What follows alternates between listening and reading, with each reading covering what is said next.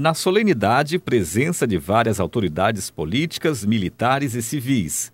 Após o processo de inscrição e entrega de documentos, é hora de realizar o sorteio dos contemplados com o projeto Bombeiros Mirins, organizado pelo Corpo de Bombeiro Militar em Caxias. Foram 374 inscritos, envolvendo crianças de 10 a 12 anos e de 13 a 16 anos.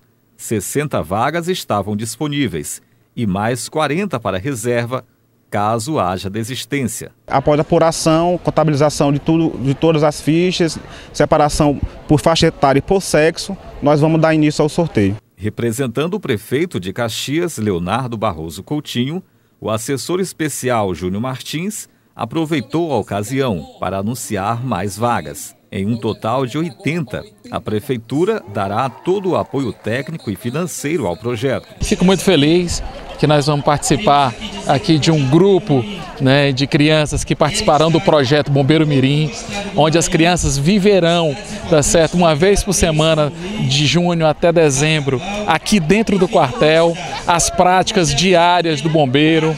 Uma das sorteadas foi Shirley Jane, de 11 anos. Eu achei uma honra. Agora é se dedicar, né?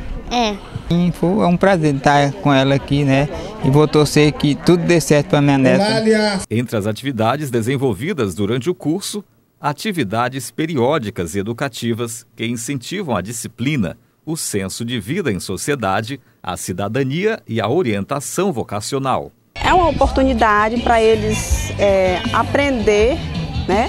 Se desenvolver mais aquela expectativa que ela está muito ansiosa, que quer saber como é que é. A expectativa de ser sorteada, contemplada? Sim.